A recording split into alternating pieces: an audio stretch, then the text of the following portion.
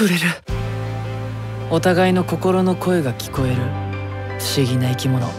触れるの力。その力でつながっていた。俺たち3人。